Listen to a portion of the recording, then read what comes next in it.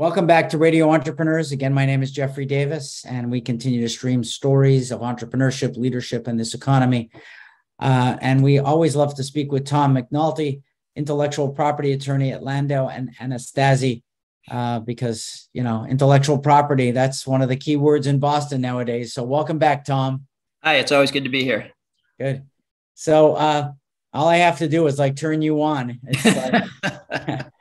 Yeah, today I thought I would talk about um, um, this has sort of arisen in my practice in a few different occasions lately. So I thought I'd talk about dealing with patent trolls as a uh, sort of a smaller uh, smaller company. You know, different steps you can take kind of in advance or once you've been notified. Um, and uh, for those who have not heard the term patent troll, um, if you haven't yet, you will. Uh, it's basically organizations that acquire patents and assert them um, basically looking to collect either license fees or, or settlement fees. They don't invent things themselves. They don't make things themselves. They really are kind of a drag on the economy overall.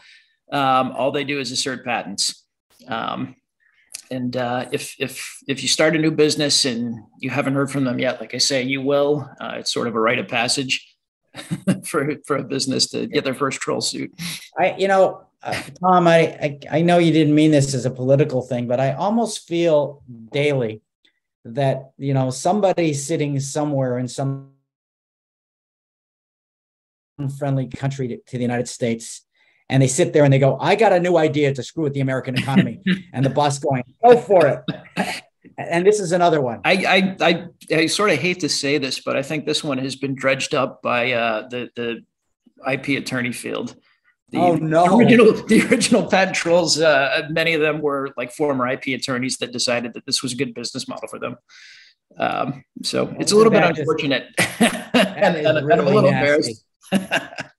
um, uh, it's kind of it's a particular threat in um, you know the high tech field, uh, e-commerce, you know, streaming, uh, that sort of thing. Um, because people, you know, a lot of these entities, what they're doing is they're snapping up older patents um, and just construing them wildly broadly to cover um, you know techniques that have that have been adapted basically by everybody. So you know we're facing one right now. It, it deals with certain aspects of uh, video streaming. Um, you know everybody's got a website everybody's got videos embedded.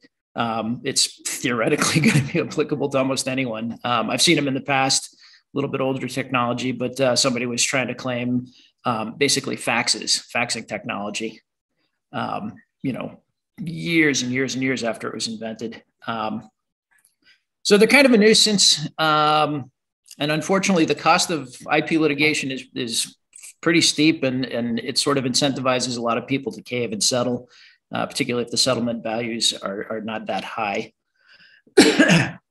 um, so I guess the first thing I would say is if you're running a business and you get a cease and desist letter, uh, a notice of a patent, um, a request to you know consider taking a license, or or if you actually get sued, uh, first thing is contact an IP attorney. Um, don't put your head in the sand. Don't hope if you stay quiet it'll go away. Um, you know this is their business model. They will get back to you, uh, and eventually they will sue if they don't hear something from you. Um, and an IP attorney can help you identify you know the strengths of the patent, maybe potential validity challenges to the patent um, I don't. I think we've discussed before, but there's a 2014 Supreme Court case that dealt with uh, patent ineligible subject matter um, that's particularly applicable to software and to uh, you know the high tech industry. Uh, and and a lot of these patents that they're getting and asserting are uh, predate the Alice decision and weren't written with you know keeping the validity in in the face of Alice in mind. So a lot of these patents are susceptible to an Alice challenge. Uh, and and that's a good one because that's something that can be done early in a litigation and potentially you know sabotage the whole thing for the uh, for the patent holder. Um, patent attorney can also tell you you know the number of times it's been asserted, how far it's gone, what sorts of challenges have already been raised, what the what the patent holder's response to the challenges were. Um, you know, we a lot of times you'll see a motion to dismiss on validity grounds will almost immediately result in a quick settlement that uh, that suggests that uh, they don't want to really put the validity of their patent at risk. Um, so these are the sorts of things that can help you in, in either trying to negotiate uh, a way out, uh, settlement way out, or to you know come up with a strategy to fight. Excuse me. Um, if you decide you oh, go ahead. so let's say I register uh, my patent or a patent pending, whatever we call it. I'm not a technology guy, clearly. Uh, somebody has already tried to register the name. Is there a way around it? Or do you just, um, are you just saying get out there early and and and don't let this get don't be reacting? Well, I guess there's sort of two things. You certainly you know to the extent possible you want to get out early in front on on patenting your own products your own inventions um, not everybody that's going to come after you is going to be a patent troll. And if you've got something that you can use offensively against somebody, um, it's always going to be better than if you're just plain fighting a defensive battle. Um, you know, obviously, if you're if you're really just starting out, there's going to be monetary concerns. You can't put all your all your money into an IP budget. You can't put all your money into a litigation budget. So there are some strategic decisions and some financial decisions that uh, you will have to come to. Um, one of the things you can consider, though, in terms of getting out in front of these things, um, there, there's a few different few different ways to approach this proactively. Um, there's patent litigation insurance that is uh, available. It's it's sort of a relatively new product, um, and I've seen a number of different iterations. Uh, it can be defensive, so if you get sued uh, for patent infringement, the insurance will cover you know some some or all of your costs in fighting it, and perhaps some of all, or all of your costs in you know paying out any damage awards. Um, and uh, this can be particularly beneficial if you know if you get if you get a smaller policy that only covers up to you know hundred thousand dollars of litigation expenses. That's a whole lot of stuff that can get done that you might not be able to uh, you know pony up uh, out of pocket on, on short notice. Um, so that gives you more of an ability to bring some of these early challenges and to really kind of drive the other side to a to a cheaper settlement.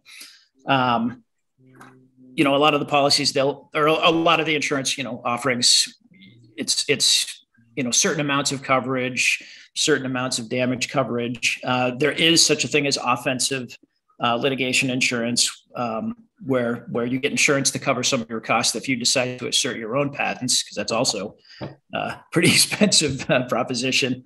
Um, so that's that's one of the things you can do to try to get some cost certainty uh, and and you know some proactive steps. Um, the other thing you can do is there are a number of groups that have formed and that are still forming um, to try to deal with the whole troll issue. Um, there's uh, a number of defensive patent aggregation firms, so they basically they sign members up, and as part of your membership, you agree not to sell your well, with some of them anyways, you agree not to sell your your patents to a patent troll to a non-practicing entity. And um, one of the conditions um, that you sign contractually is if you do so, uh, everybody else that's a member of that group automatically gets a uh, royalty-free license. Um, so that uh, you know that that prevents uh, patents from you know members within that group from being asserted against you down the road.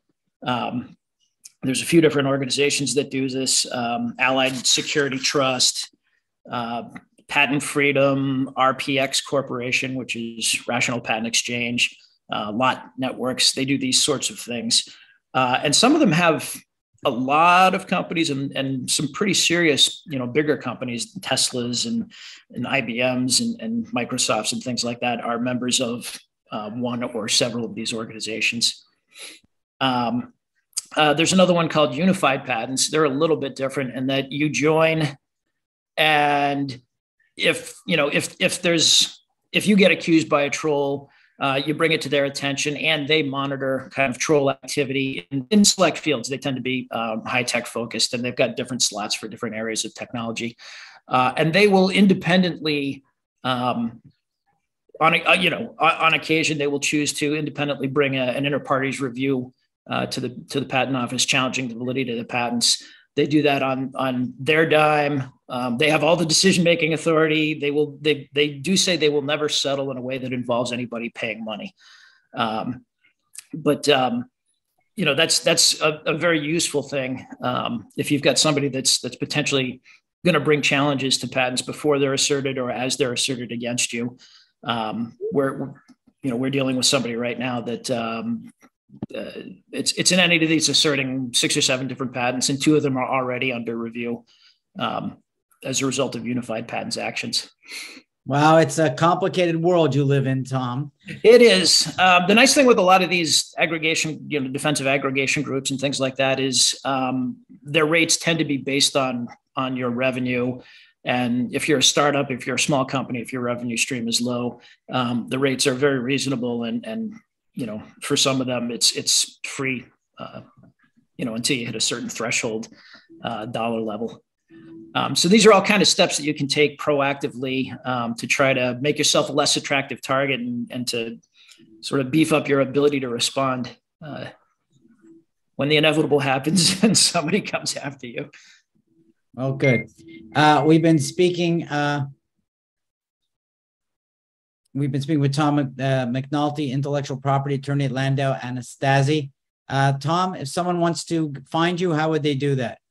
Uh, they can find me certainly at our website. It's www.lalaw.com. Um, and uh, and uh, you may have to scroll down through the uh, the old TV show websites to get to us if you if you just do an LA Law search. But um, uh, they can also reach me at uh, tmcnulty at lalaw.com. Okay, Tom, thank you for being on Radio Entrepreneurs. I look forward to our next interview, and we will take a break. We'll be right back.